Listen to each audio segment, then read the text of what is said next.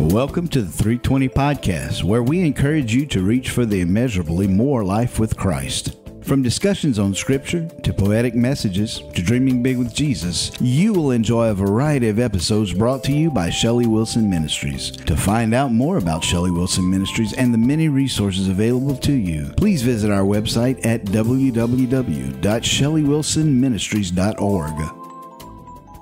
Hey, you guys, it's Shelly. Welcome to this week's 320 podcast. Um, well, I was going to do something a little different. Uh, I had recorded it yesterday, but I'm going to bag that for now because we had something come up in group last night that I just feel like I, I feel like the Lord circled back, circled back with me on it, and I actually didn't sleep very well last night over it. So I feel like it's the conviction of the Lord so I want to come sharpen this a little bit. Um, I'll make sure I send this particular podcast to each one who was in our group last night, but this should encourage everyone, um, even if you weren't in our support group last night. Um, oh, so let's talk about prayer. Um, let's let's talk about um, drawing near to God. Um, so the the thing the, there kind of was a common theme last night about the struggle that is very real of staying in the Word, of staying in prayer, of finding time to carve out for that with the Lord. Um, we talked about different seasons of life. Uh, we talked about the truth of that, you know, if if you and I never open the Bible again, it do, it doesn't change the way God loves us, right? But it does change the way we grow in Him, okay? And I think that's kind of what I need to come back around to because I, I almost feel like I want to be careful. I want to be careful that I don't let you live in a place less than what God is calling you to. And listen, we all have certain circumstances in life that make it even harder for some than others to steal a, a quiet time away with the Lord, right? Um, we talked about how in seasons of grief, we shared one of the lady's stories. You know, she was so um, dogmatic because of the theology in her background. If she prayed more, if she read the Bible more, if she went to more Bible studies, right? If she did everything right, then God would answer. Then God would love her. Then God would do something for her. Then he would hear her. You see what I'm saying? So God God had to take her through a season where there was a lot of grief and in grief sometimes you actually can't sit still. I went through this with PTSD. You have a hard time your eyes focusing on reading um, and so she went through that season, and I would have to remind her to have grace with herself that God knows the season she's in. Sometimes that happens after we go through a traumatic season of maybe loss, not just of, uh, but divorce, right? When when something has come into our world that has just kind of undercut our our footing, and and we are trying to uh, come up for air if we feel like we're drowning you know, and all of that. And and one of the things we talked about last night was God is always right there. It's never been about if you do more, you will earn his love, or if you do more, you'll earn his listening ear. He's always inclining his ear to hear you. He's always there. He always loves you the same on your good days when you seem to be doing everything right, and on your bad days when you do nothing right. Nothing you do on either side of that scale changes His love. His love is unchanging for you. If you chose to walk away from God today and worship some some dead false idol or even Satan himself, which is all the same really at the end of the day, God's love for you still doesn't change.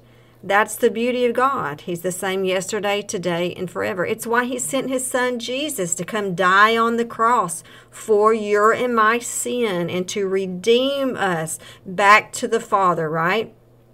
Because of God so loved the world that He gave His only Son. God so loved the world, right? He loves the worst sinner. He loves the murderer. He loves the pedophile. He loves the traffickers, you know. He loves all of these people. He doesn't love the sin. He doesn't love what they do, the choices they make, the harm they cause, but his love for them is unchanging. He went to a cross for the worst of humanity. That's just that's just who he is. He the Bible says God is love. So there's nothing you can do to earn more of his love, and there's nothing you can do to lose his love. But I do want to circle circle back around and talk to you about why it is important because I want to be careful that I don't allow you please most of you guys who know me know how uh, I try to be so gentle uh, Jan and I both, uh, there are times it gets hard to heal, and there are times I need to pull you into a truth that is challenging. And that's probably what this is going to be today. So when you hear me today, I do not want you to hear any condemnation. That would be of the devil. There is now no condemnation in Christ Jesus. But what I do want to I want you to hear is a sharpening and a call of God to come into a secret place with him. So maybe God would help me, Lord, please reshape your thinking. And this is this is what I was thinking about um, last night. You can all you'll always make time for what's important to you. Let's so let's go into a real honest, reflective place before the Lord. Um, I am just like you. There are times when things grab my attention so fast in the days that I'm like, oh my gosh, I've not sat with the Lord, or I've not opened the Word, or whatever. We all go through those seasons, but I still have to say, I, you and I can have as much of Jesus as we want. And the life with Christ is a disciplined life. And, and here's what I mean by that. If you go to college to get a degree, then you have to get up, you have to go to school, you have to do your homework, you have to pass the test, right? To get good at the at the topic you're studying in that particular class. It it doesn't just come to you in one meeting. It doesn't, you know, you can't sign up for a college class, pay the tuition and never show up and learn, right? Um, another example would be this.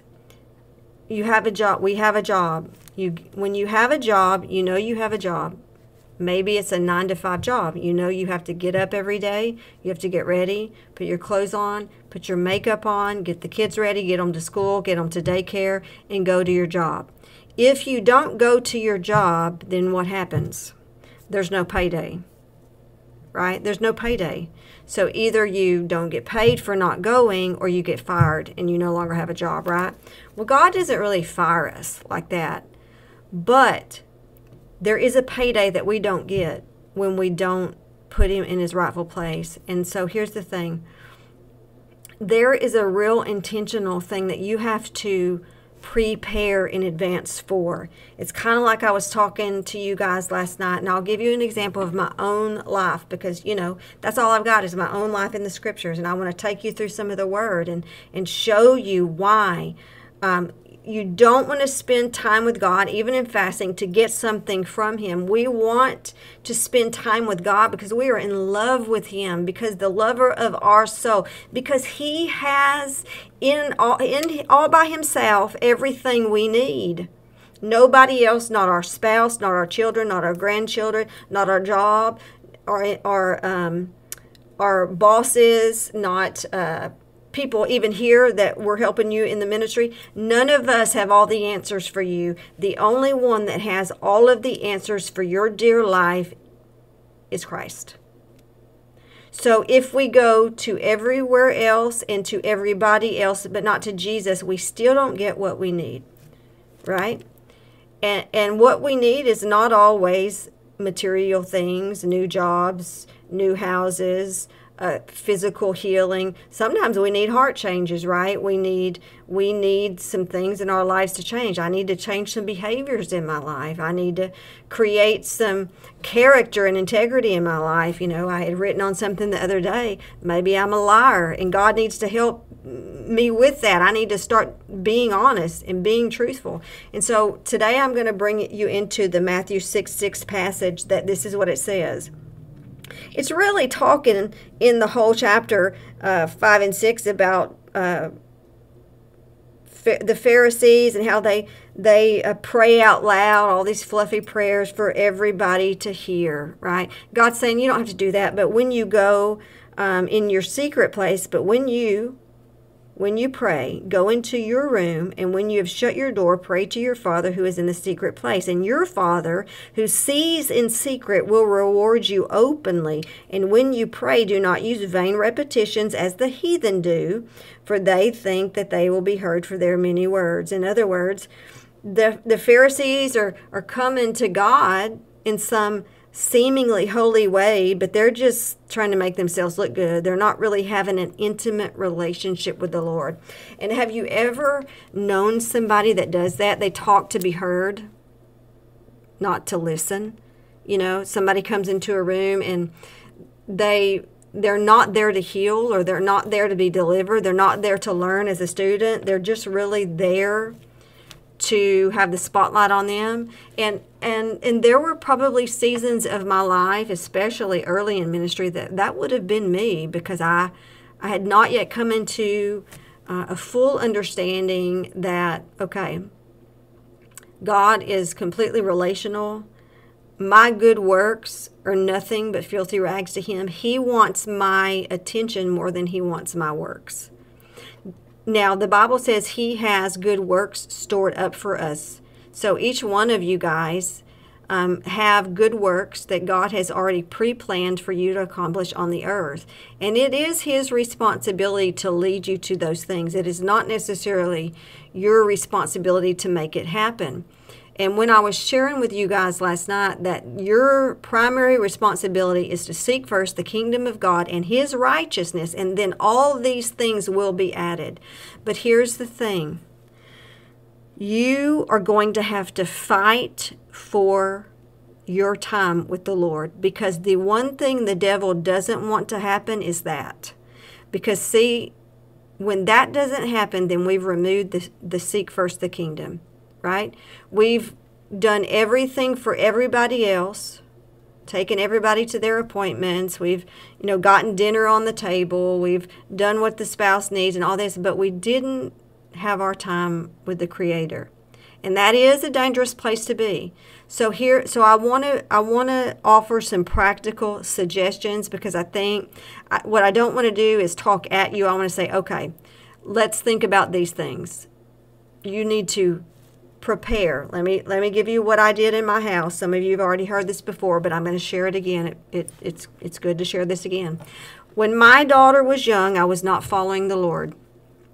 I took her to we had a Wednesday night girls' night where we drank plenty and uh, smoked our cigarettes and everything and partied it up. And of course, I took her there. She saw all of that. She was involved in all of that. She would write on my cigarette package, Mama, please quit smoking. And I would laugh you know, and think that was so funny. And I look back at that now, and I think it's tragic, right? That that I wasn't listening. I, I was having more fun than listening to my daughter, right? It was it was more about me and not about her. And so um so she didn't see I didn't train her right in the ways of the Lord because I wasn't even in the ways of the Lord. I didn't even know what I was supposed to be doing, right? But see after 10 years I have my son uh, at four months, uh, when he's four months old, I have my emotional breakdown, which led me to Jesus.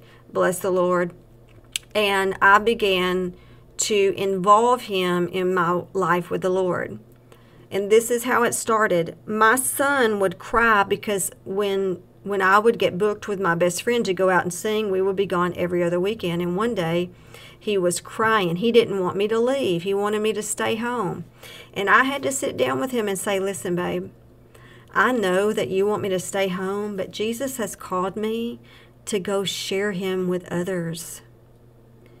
And when I was asking the Lord what to do about it, the Lord told me to give him a job. So I went to my son. I said, I tell you what, every time God calls me to go out and sing somewhere, I want you to do your job, and this is your new job. You are to be my prayer warrior.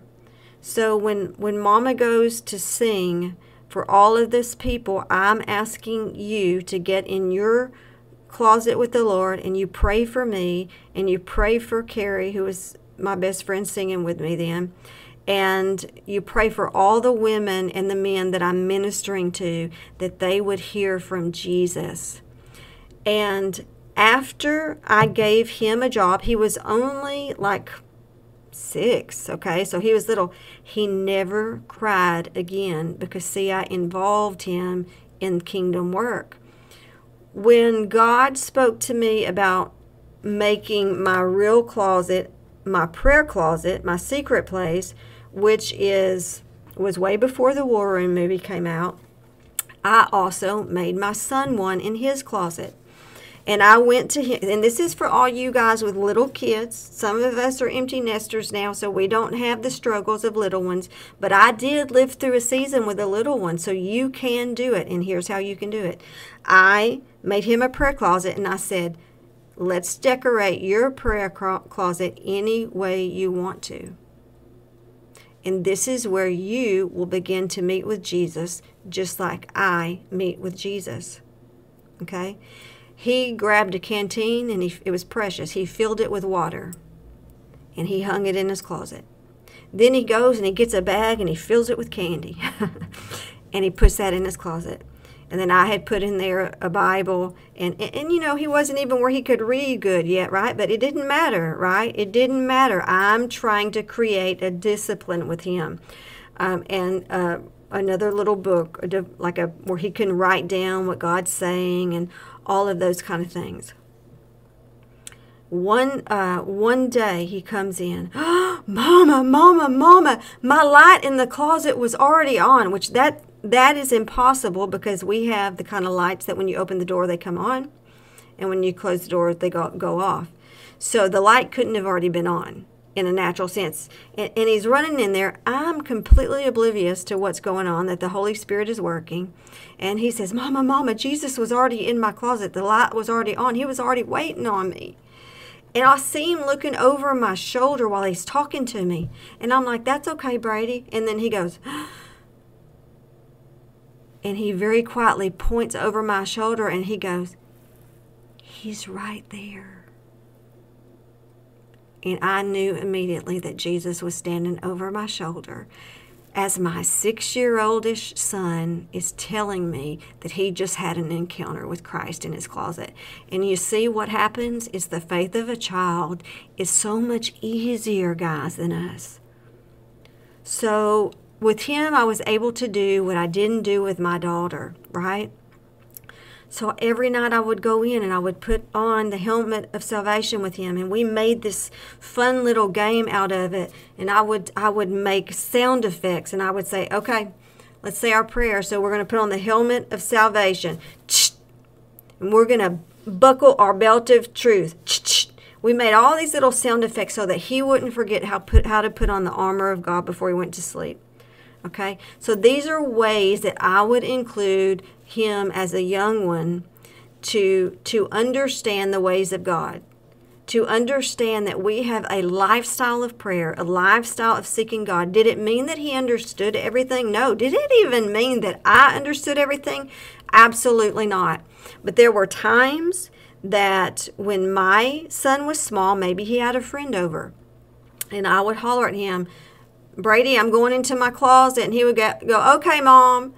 And I would hear one of his friends say, why is your mom going into a closet? And he, he would cash, I would overhear him from the other room say, that's where she meets Jesus. And, and that, that is how you do it as a mom of young kids, right? It may not look exactly the, the same. You don't need a big space in a closet. For me, I'm a little um, obsessive compulsive. If I see dishes in the sink, if I see laundry that needs folded, in that season of life, my office was at home. I was officing out of my home. And so God stuck me in a little closet, and I would just shut the door and let everything in the world go away, okay? Now, if your kids are younger than that and you can't really shut a door and be away from them, then there's a kitchen table There's a there's a maybe you need to make them a little space in the room where you go, this is your prayer closet. And you let them decorate it and you put put a bible for them a place where they write and then maybe you're sitting at the table and they're within in your eyesight you can see what they're doing. And you're having your bible time. Jesus can meet you there just as much. And he can still meet baby boy or baby girl there just as much in that setting. Uh, but here's the thing. Pre plan what you want to do, just like you have to pre plan your day to get up and go to work, right? You have to have to pre plan if I have a doctor's appointment, then I have to do certain things to get out the door to get to my doctor's appointment. So, what can you put in place today?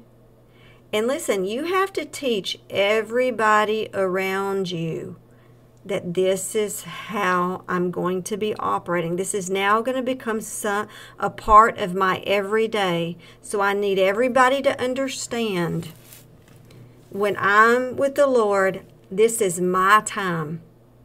Listen, wives, listen, husbands, you need to train your spouse that Jesus is first. Because if I allow anybody and everybody if I allow every text message to interrupt my time with the Lord, if I allow every phone call to interrupt my time with the Lord, if my husband comes in every day, you know, at that time wanting to talk to me, guess guess who hasn't gotten my first attention? Right? And here's the thing. Here's a reality. Oftentimes we go about our day and we've left God waiting on us. Now, there was a season when my quiet time was at night before bed. Everybody was in bed. And that, that was my quiet time. There was actually a season when I was working when my quiet time was at lunch. I had a job, a very demanding job. I would travel around the country doing sales. And when I worked from home in a home office, I would shut everything down from 12 to 1. And that was when I did my Bible study, when I did my prayer time, kids were at school, all of those kind of things, you know. So so th- this is the reality of it will cost you something. Okay? It may cost you, I don't know, some coffee time in the morning. It may cost you um, going to lunch with other people. But again, it's the sacrificial life of saying, you know what? If I don't, if I don't, if I don't sit with the Lord, then I'm, I'm not going to learn his ways, right? So let me let me take you through a few scriptures that I had pulled up that I think I, I, want you to get a right understanding of why we spend time with God and why it's not a works based mentality that we can fall into. Okay? Here's what the promises of God say. Proverbs 8:17 I love those who love me and those who seek me find me. So, what does that tell me? When I seek him, I will find him. What does that also tell me? If I don't seek him, I will not find him. Does that mean that he's not there, always looking out for you and always fully in love with you? No, it doesn't. But it does mean that you will not find out some things about him that he wants you to know. Psalms 145:18 says this, "The Lord is near to all who call on him, to all who call on him in truth." Okay? Anytime we call on Jesus, he comes a running. It's the way he is, it's who he is. His word says, I know my sheep and they hear my voice. You know, there's a passage in scripture in, in Matthew 7 where he's talking about you know, many on that day will say, Lord, Lord, did I not prophesy in your name? Did I not cast out demons? Um, all of these works based things, right? That work. I could say it like this: Did I not stand my Bible every day? Did I not? St- did I, t- I? Maybe I taught Sunday school every day. Maybe I was a preacher in the pulpit. And the last part of that says, "But I will say I never knew them." In other words, they did a lot of great things for God, but they never got to know Him intimately right? You can study the word just like the Pharisees. They would know the scriptures way better than I know the scriptures, and they missed the one who wrote the book. That's why we're learning in our groups and our equip class how to exercise senses, how to learn how to live in the Spirit, because it's the Spirit of God that gives life. Right? It's the Spirit of God that gives life. Even though I open the Bible, I need the Spirit to give me revelation. Why do I know that? Because He is the one who reveals all truth. If I don't have the Holy Spirit in me to reveal all truth, then I'm going to misinterpret Scripture. Right? Sometimes I misinterpret scripture based on circumstance, based on what churches have taught me, and all that. That's why I need the Holy Ghost, right? He's the best teacher. He he he is known to be the bringer of truth, the revealer of truth, the teacher, the counselor, and the helper. So he is always there for us. So we want to go to him. Why? Because he's our helper. He's the one who reveals all truth. He's our counselor. He's our guide. So if I go to anybody else, if everybody else gets my attention but him, then I have gotten no guidance, not the best kind. I may have not gotten any teaching. Even if you come here on a weekly basis, I'm always going to tell you, you have got to go get to know the Lord Jesus yourself. There is a certain way and a language he, spe- he will speak to you in a language that you understand right? No one could ever convince me that I don't hear from God. Why? Because we have a history. There, there, I've been through, you know, 30 years by now with him. There are patterns he's developed in my walk with him. There are certain ways he gets me messages that I've learned, and you need to learn what that's like for you and him. It's kind of like learning things about your best friend. You know what their favorite color is, you know what food they like, what food they don't like, right? You know whether they're good with kids or not good with kids. You know whether they're, you know, all of these different, you know what makes their heart um, happy. You know what things they love to do, things they hate to do, all of those kind of things.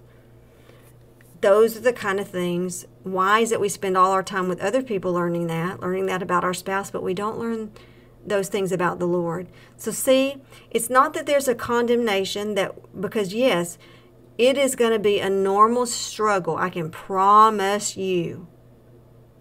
You will always have to fight for your time with the Lord because it is exactly what Jesus, I mean, exactly what the devil doesn't want to happen. Why? Because in the prayer closet is where I've gotten lots of direction for my life and ministry. In the prayer closet is when God has cleaned up my heart for some sin bents that I didn't even know I had, right? In the prayer closet are the times that I pour out deep sadnesses in my that are deep in my heart that I've never told anybody about, but he knows they're there and I need to come into a place where he can heal me.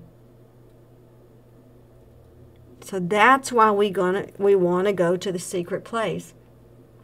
And then I do like this passage in Jeremiah 29 13 through 14, which says this You will seek me and find me when you seek me with all of your heart. I will be found by you, declares the Lord, and will bring you back from captivity. I will gather you from all the nations and places where I have banished you, declares the Lord, and will bring you back to the place from which I carried you into exile. Listen, He wants to set the captives free so many times. I'm a big believer. You guys know I am. We believe in counseling here. We believe in medical doctors here. We believe in a lot of helpers in the natural. But I do not believe any of those people replace God and His wisdom and what He sees and what He knows. Because sometimes a medical doctor will diagnose you with something that's spiritual, that's actually a root of spiritual Sometimes counselors are not seeking God for what's best for you, what you need to know, what you need to hear. Right? They're they're they're counseling you based on a worldview, not a biblical view. They're not coming to you with from a place of listen, but God has plans for you, and that's why you're going through all all of this because your daily walk with Jesus is always unfolding each and every day. He's bringing more freedom. He's unbinding you from chains. He's setting you free from that. He's healing you from this. And all the while, we're learning more about the Good Shepherd himself. So that's why we want to go into the secret place. But here's the thing it doesn't just happen, okay? Uh, going into prayer with God, going into a secret place, um, and, and maybe it's not, you know, let's don't box in the secret place. I do like a quiet place with God. I will not lie to you. I do put on worship. I don't like people bothering me when I'm in that place. Why? Because I'm where I am in the most important place there is in that moment. Nothing else is more important than than that, okay? Because if I'm seeking first the kingdom of God and his righteousness, not only is all going to be done for me, but it's going to be good better for me as a mother, better for me as a grandmother, better for me as a wife, better for me as a daughter. My kids benefit, my husband benefits, my mom benefits, my dad benefits. Because let me tell you what, keep me away from Jesus and I'll go back to the old Shelly in a heartbeat. Right? So we want to cultivate the discipline and the surrender that is required to follow Jesus. So, I don't want you guys beating up yourself, but I also don't want to give room for excuses. Um, and I say that in the most loving way. Um, let's just ask God, how can I creatively, for some of us who need need a creative answer. And then others of us really need to go actually I, I do have time. I'm just not making time. Or i'm allowing everything else to intervene. I'll give you an example that i follow.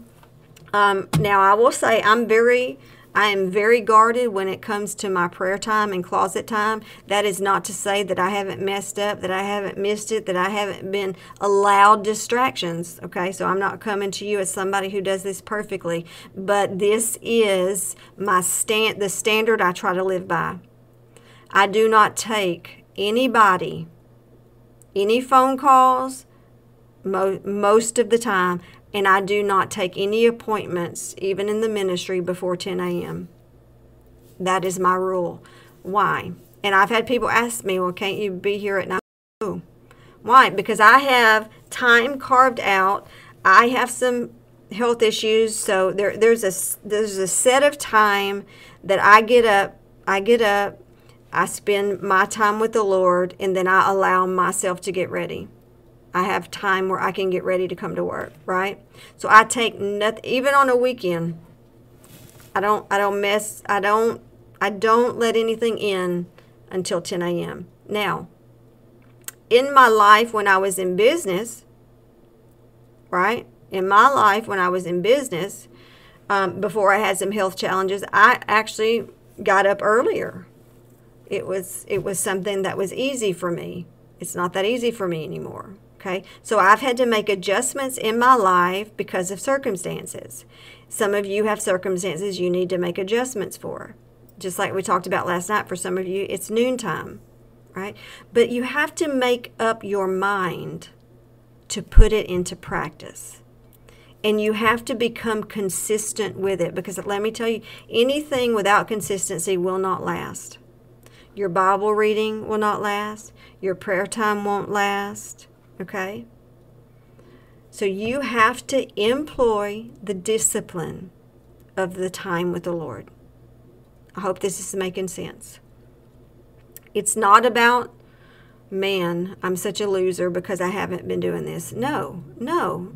I think God wants to touch on something and we go, okay, let's embrace the teaching of the Lord. Let's embrace that I need to do this better. Let's embrace that this is how, this is how I learn his way with me. This is where I learn about the love of Jesus. This is where all things that are holy and godly come to me. This is where my family will flourish. This is where my marriage will flourish. This is where um, my life in Jesus begins and ends, right? I'm, we're not coming into this place to always get from God we're coming into this place to just be with God. Big difference, right? Do we bring our requests to the Lord? Of course, I do every day. I also lift up many of you before the Lord every day by name. Would you, Lord, would you help me help her in this area? Is there something I'm missing here that I could I could say or I could do or a scripture I could point her to? I'm always doing those kind of things. But I'm having to learn, just like you guys are, that most important of all, He just wants to be with us, to be with us. Just like your kids don't always want something from you, they just like to be with you. You ever notice how your kids can be playing in the room and you're not really talking to them, but they're content? Why? Because you're in the room. It's kind of the same way when our Father's in the room, right? He's trying to teach us how to be content in His presence. Right? In the place of His presence is where He shines a light on things in our heart that needs to change. There's no timeline. Let's talk about timelines. Uh, there is no magic number of I must spend an hour with God. I must spend three, four, five, six hours. I will tell you this. I have read many accounts of mighty people used by God who did spend hours with God. They had different circumstances. What can I tell you? Their walk was unique to themselves. You can't compare your walk with mine, and I can't compare my walk with yours. I'll tell you this I am required to have a lot of time with the Lord. Why? Because I would have nothing to bring to you without it. There's something that you will miss if I don't spend my time with the Lord. Because I'm going to miss it if I don't spend my time with the Lord right? But there have been times that I've stepped into my closet, put on some worship music, just to get my just to let everything you know all the stress of the world go. Just to let the lord bathe me in his presence. And all of a sudden i've heard him say go do this. And it was a five minute session. And i'm like well that's it lord? Well when he tells you to do something you get up and go do it. So our time was done for that day. So you see you can't we're not into methods. We're not into time frames or timelines things like that okay? But we do the, the the main point of this today is to go okay let's solve the issue. Let's let's purpose to fight for our time with the lord because he is he is our first love. Remember everybody else has to get in line behind him. If we have allowed everybody else ahead of him then in all honesty i have to be truthful with you and say then you have created idols because you've made everybody else more important than Him, and that is sin. Okay, so that is the reality. That is the reality. That's another reason we want to purpose to get our time with the Lord in place and space. So, how does that look for you? I've known people to go sit in their car while they're at work, go sit in their car uh, and spend the hour in their car eating, listening to sermons, praying, that's great. That is no less a prayer closet of the secret place than if I'm in my little closet with the door shut. That is just as powerful of a place as, as what I'm doing. And then you have to know that God always honors the sacred space, no matter what it looks like or how you do it. When God knows that you've purposed your heart to meet with Him, He always honors that. Always. There are some times in certain seasons where I've gone into my closet with no words at all because all I knew to do was cry. But the Bible says that the Holy Spirit hears the groanings of our heart. He he prays for us with groanings. He hears he hears the sorrow when it's making noise. It's interesting. I can hear the words. He hears the sorrow when it's singing. He hears the sorrow singing in the heart. He hears the tears from the trauma that haven't been cried yet. Some people have trouble crying after trauma. Some people have put up such a hard wall that it takes a while for the Holy Spirit to soften the hard heart and to begin to work with us in certain areas, right? Because we've created a protective a mechanism for us so we don't get hurt again. We all need a safe place, and while I love that our rooms are safe, you are safer still when you are sitting with the Lord. Safer than you'll ever be in my building, safer than you'll ever be with me or Jan or Debbie, safer than you'll ever be is still yet in the presence of the Lord all by yourself. And then you have to have grace for yourself when you mess it up or miss it or forget it, right? But I want you to start treating it as a job, but a job you love, a job you go you don't have to clock in and punch in, right? But I want you to know that when you spend time with the Lord, just like your secular job or, or whatever kind of job it is, there is a payday that comes The payday may not be in money, but the payday is in nearness to Jesus. When the Bible says we are to hide the word in our heart, that means we have to break open the book, right? If we're going to hide the word in our heart, then I've got to read it over and over and over. It took me years to memorize. I'm not a, a scripture memory person. That's not something I do on a regular basis. God, with me, this is what He does. He works the scripture out of me by circumstance in my life and it becomes a scripture that I will never, ever forget again. Right? So, though, though that's the moments in those valley seasons where I'm running to the closet.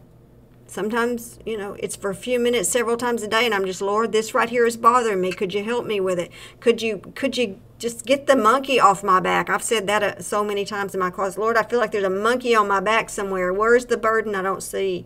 Talk to me about this. And then you just have this honest dialogue and, and let him. He may answer right then, and then he may answer you throughout the day. He may answer you when you open your Bible. He may answer you through a friend. He may answer you through a song, right? But at least I know when he answers because I was I was already petitioning for it.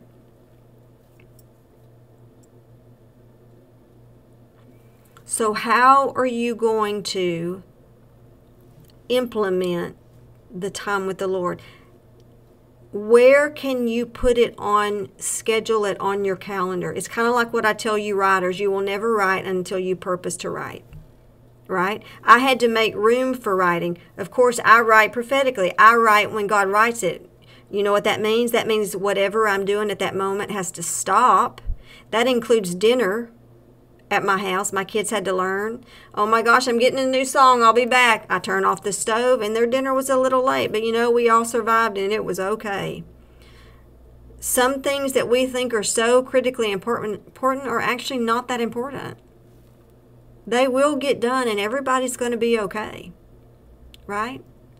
So, how can you today no more excuses. I'm not going to make room for excuses. I'm going to say, have grace with yourself. We're not going to look at the past and condemn ourselves, but we're going to go, okay, let's rectify this now. Let's do the first thing first. Right? How do I get there? And if you don't know how to do it, then and you need to come in and see me, then you come in and see me and we'll work out a plan. We'll work out a plan for you to try and we'll do some trial and error till we'll see what works. But I'm not I'm really not willing to let you me or you or any of us not receive all that Jesus wants to give us. Right? So, God, I just want to pray today, Lord, that in the name of Jesus, we become diligent disciples of yours, where we fight with the sword, where we fight to get into the prayer closet, God, where we refuse to let distractions come, where we recognize distractions when they walk in the door, Lord, I thank you that there is not, there is now no condemnation in Christ Jesus, and that when I fall off the wagon, I just have to get back up and try again. That that's that's what repentance is, right? I'm sorry, Lord, I just couldn't do it today for whatever reason, and and and Lord, help me do help me tomorrow. And then, Lord, I'm asking you for for really crystal clear blueprints. Uh, uh, even maybe if they, they need some of my checklist girls, maybe you need to get planners, right? You like checklists, you like make lists to check off your list. I don't really like checklists when it comes to the Lord, but you know, He will use the way we're wired, He will use our personality, the way we like to do things. And if you need to make a list, make a list. I was just watching a movie this week where, where a man, because he came from foster homes and every, uh, maybe 20 something foster homes, and because of the trauma in his life and the way he was never able to, to be real settled, he had a woman in one of the Christian homes that said, Listen, because everything overwhelms you and you need to do one thing at a time, why don't you make you a list? And that man lived by a godly list. It, it was something that he needed to do to help him because he had um, some anxieties and some fears and things from his past. So if you need to make you a list, make you a list. And when you make your calendar, and for some of you, if it says from 12 to 1, this is my quiet time, it needs to be posted in your kitchen on your bathroom mirror so hubby or whoever else in your house sees it so everybody knows. And you can have that family meeting. This is what's now going to be implemented in my life. I need you to know how important it is. I need you to interrupt me with emergencies only and I'm going to include you as much as I can in it, right? So, Lord, I'm asking you to relieve all burdens in Jesus' name, all confusion in Jesus' name. Um, any spirit that would come and lie to them and say, There's no time, there's no way you're going to accomplish this, you can't be successful. The devil is a liar in Jesus' name. Lord, let your let your burden be easy. Your yoke is light, God. Let them only have the burden of the Lord because you carry the burden, God. You carry our burdens. So, Lord, just one thing at a time. Father, help them just make up their minds to now insert you into the calendar, insert you into the daily tasks, into the ritual of life, into the to do list. It's not uh, optional. It's not an optional thing anymore. Let it be decided in their hearts that this is the way in which I must go. This is the way I choose to live being in the presence of God first, getting, getting my directions for the day, getting my help with my children, getting my help with my family, getting my help with my coworkers, getting my help with my own heart. And Lord, to every distraction in hell that's come up against them to keep them from Jesus, I say, be gone in Jesus' name. Let there be peace like a river that now ushers you into the precious, precious, precious presence of God. Perhaps your prayers need to be written on a page for you to focus. That's just as intimate as you speaking it out loud or in your head before the Lord. And if that's the way you need to process with God, that's how I am, then you go right ahead. Teach them who they are, Father and how they can uh, cooperate with you in prayer, cooperate with you in kingdom assignments, Lord.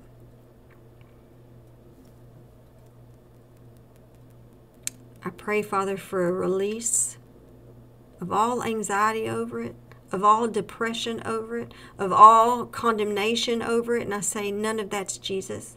Let the love of Jesus come to you now and say, I just want to be with you. It's just that simple. Let me teach you my ways. Let me teach you my, let me show you my heart. Let me show you the plans I have for you, plans for hope in a future, not to harm you. Let me show you the good works that I have really stored up for you. Let me show you, child, the immeasurably more that you than you can even think or imagine. Let me show you the dreams that you have forgotten because life came with pain and sin and trauma and abuse. Let me take you back to the beginning. Let me heal the little girl in you. Let me show you what's right and show you what's wrong. Let me show you who you are. Let me show you what I see in you. Let me show you what I formed in the womb before you were ever born.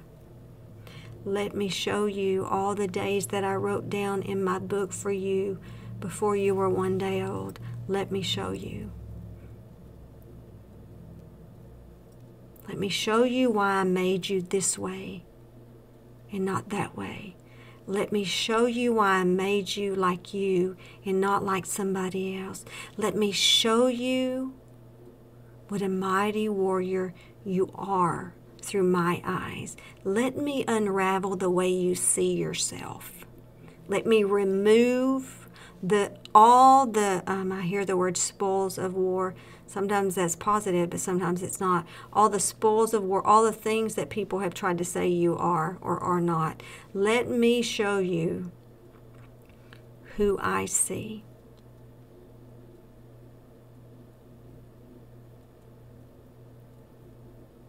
And Father, I thank you that you are the perfect shepherd. You are the perfect sin sacrifice for all of us. I thank you, Lord, that you bridged the gap between man and the Father, and that by the blood of Jesus, we are redeemed. I thank you that you sent the Holy Spirit after you ascended to sit at the right hand of the Father to live in us, to be, a, we are now your dwelling place.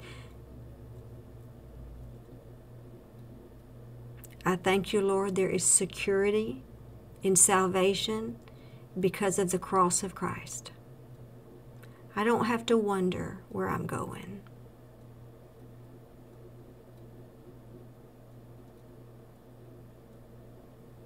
I thank you, God, that it is not by works that we are saved, lest any man should boast, but it is by faith alone in Christ that we must be born again to be saved. It is a supernatural transaction.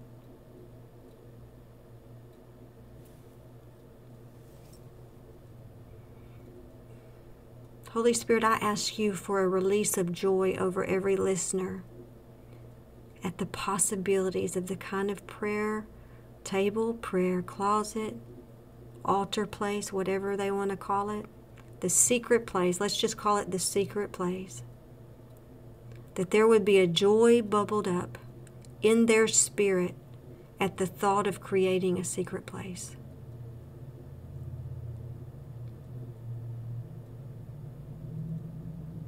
And God, I am so grateful. So grateful that you don't let us live underneath the priesthood, that you want us to step into the co heir anointing that you have died to give us.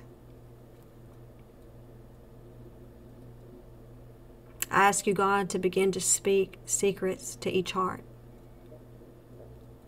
Maybe it's things they've never told anybody and only, only you know about. You did that once last night, and I'm so grateful for that, Lord. That sometimes you answer the quiet questions of our heart that we don't even say out loud. But you want us to be sure and understand that you hear and you see, and you're, you're on the job at all times. God, we bless you. You are, you are lovely and wonderful and majestic and holy and good. In the mighty name of Jesus. Amen. All right, you guys. Until next week, see you then. We hope today's episode has blessed you and encouraged you to pursue Christ passionately. To join us again for more encouragement, equipping, and empowering, subscribe to the 320 podcast. We would also like to invite you to enjoy our round the clock radio station, Royalty for Real Radio for Women, at royalty4real.com. That's royalty, the number four, real.com.